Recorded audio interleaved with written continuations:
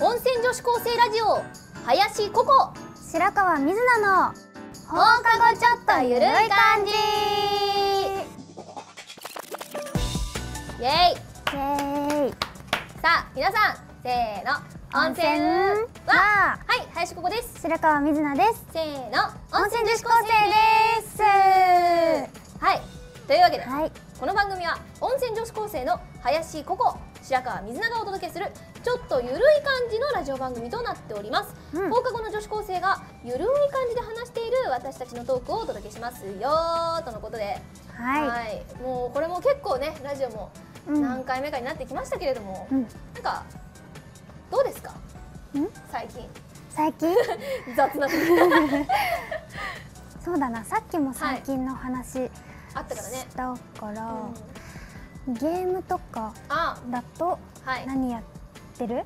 私ですか、うん。私は最近はあの 魔法使いの約束ー。ばっかりですね。ちょっと小声になっちゃった。小声になっちゃったね。魔法使いの約束大好きでやってますね今。はい。絶賛。あとは、まあ、あとツイステをちょっとのんびり進めてて、うんうん。相変わらず。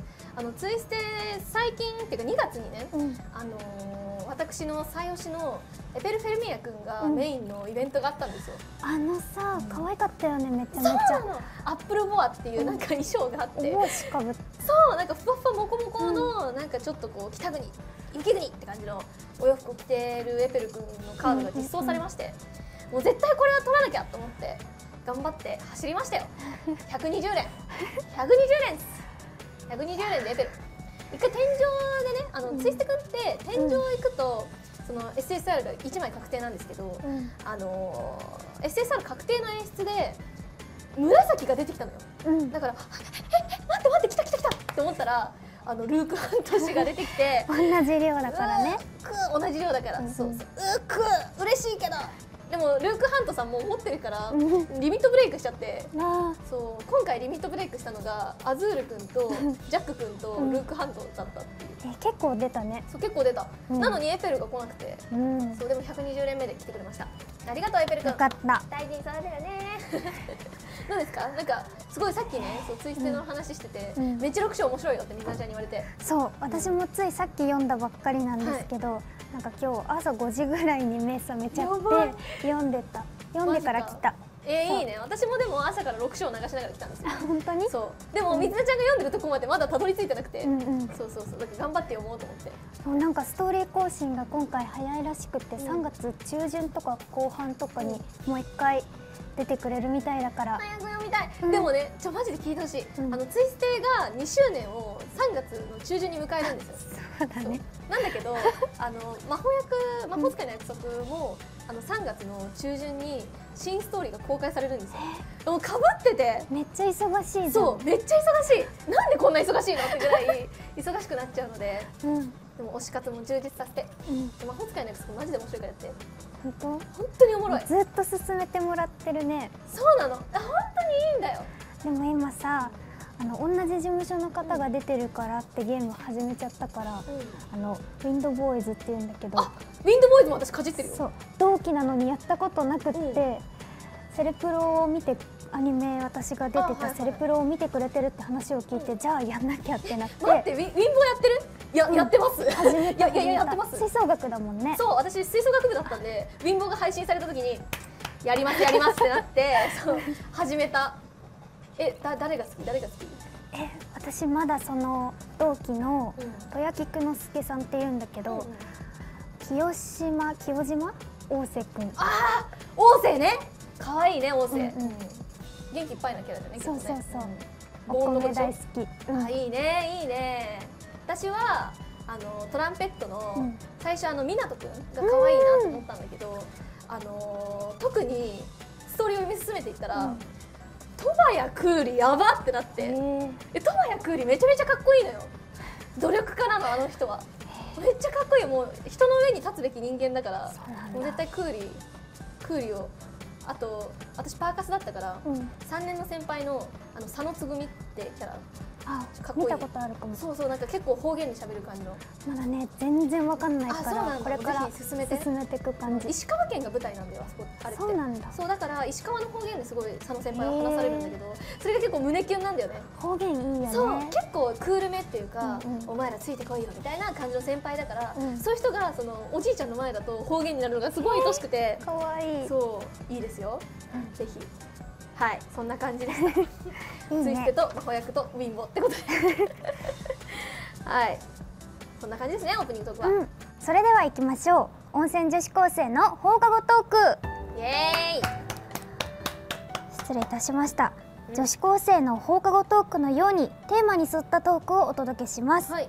今回のお題は最近泣いた話。最近泣いたことについてトークしていきます。はい。え恥ずかしいー、恥ずねかしいね。あります？自分で申告しなきゃいけないの。そうよ。そうだな。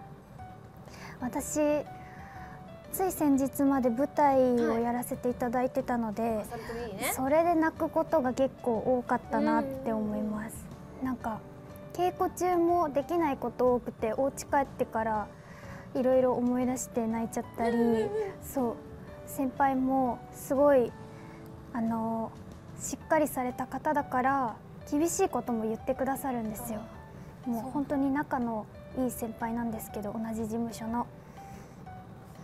あとはなんだろう。だからそうやって頑張ってステージに立っていたからカーテンコールでちょっと泣いてしまったりもして。いい話だ。そう。もうね泣いてばっかだった。うん。泣いてる人泣いてる人やばい。ずっと泣いてる人？でもやっぱ舞台ってさ、その自分が生身で出なきゃいけないんじゃない、うんうんその声優だとやっぱそのキャラを通して自分は声を当てるうん。っていう感じだからその舞台だとさ、うん。自分自身も見られるわけじゃんそのそ姿形を。だからそうなるとやっぱなんだろうなうん。よりこういろんなことを考えなきゃいけなくなってパンクしそうにはなるよね、一瞬たりとも自分じゃ入れないから、うそのキャラクターとしてうん。その場に立ってないといけないからその子のことをより深く知ることがん。必要で、とっても考えたしとってもすごいいい経験になりました。いいですね、いや熱い話だねそれは えカテコで泣くとか すごい私好きだもん。好きっていうか言い方したらおかしいけど 泣いてる子とか見ると、ううんわいいなってなる。これだよこれだよ舞台ってってなる。何みたいな。すごい大きいな感情が。感情が大きいな。いやでも分かる分かる。いいですね。うん。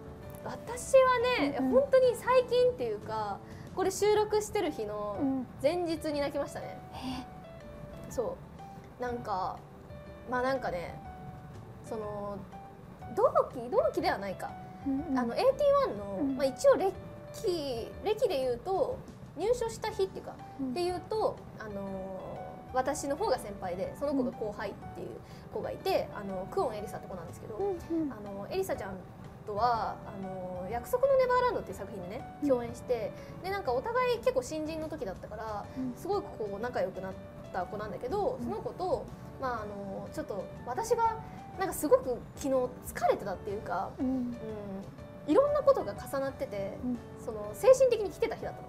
だからちょっと今から電話していいって電話して、うん。そうそれでなんかこうもっとこういうことをやりたいんだとかこうこういうことをその頑張ってるんだけどそれがなんかうまくいかないみたいな話をうん。こうしてるうちにこう泣けてきちゃって、うん。それでそうお互いにこう絶対に売れようなっていう負けずに売れようなっていう話を して泣いたっていう感じですね。そういうところだよね。うん。悔しくて泣ける人ってうん。ちゃんと考えてるからこそだと思うから。ありがとう。うん。ありがとう、それなんかめっちゃエリサちゃんにも言われて 全く同じこと。すごい考えすぎだからうんみたいな、なんかそこまで考えられてる人って実はいなくてみたいな、うんそういう人の方がね意外とスルスルこううまくいってたりもするからみたいなうん。言われて、えー、みたいな。まあそうなんだけどさみたいなね。まあそういう深いお話をしたっていうことですよ、うんだね。なんかいいね。熱いね。ね。うん、お互いに熱い話でした、はい。なんかもっとなんかあれだよね。かんこれなんか猫ちゃ可愛くて泣いちゃいましたとかじゃないんだみたいな。真面目に来たなって感じだよね。えこうやって。他あったりする？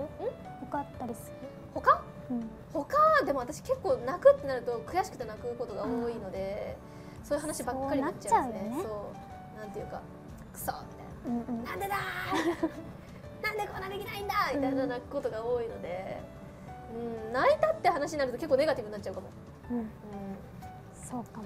まあこうやって傷つき傷つき合って 大人になっていくんですよ。傷つき合ってはないのうちらは まあ。普通に頑張ってるだけだから。そうそうそう。まあね。そんな感じですね。これみんな嬉しいのかな？こういう話聞いて。どうなんだどろう。うなんだろう。嬉しい。ですか？嬉しいですか？嬉しいよ。よかっいい話聞けたなって思ってくれてるといいですけどね。たうん。はい。とはい。いうことで、じゃあ締めます。はいということで以上温泉女子高生の放課後トークでした。さあやってきましたがいかがでしたか？いやーこういう話最近してばっかりだなってちょっと思いやでもなんかそれだけさう、うん、なんて言うんだろうあの前温泉女子高生をやってきて、うちらも2年とか3年ぐらいになるわけじゃないですか、うん。下手したら。なんかその中でこういう深い話というかお芝居に向き合ってるよっていう話をできるのってそれだけでもなんか成長だなと思うし。確かに。うん、最初の方はね。楽しいねってやってたから。最初の方はねとりあえずこの収録を楽しく終えようっていうところからだったと思うから、そう思うとなんかみんなに成長してる姿も見せられてるんじゃないかなと思いますね。いいね。はい。というわけでそんな私たちですが、えー温泉の YouTube チャンネルで動画を投稿しております。はいそちらもぜひチェックしてください。よろしくお願いします。はい。動画見たよって方はぜひ高評価コメントもお待ちしております。はい。というわけで以上せーの温泉女子高生でした。バイバイ。バイバイ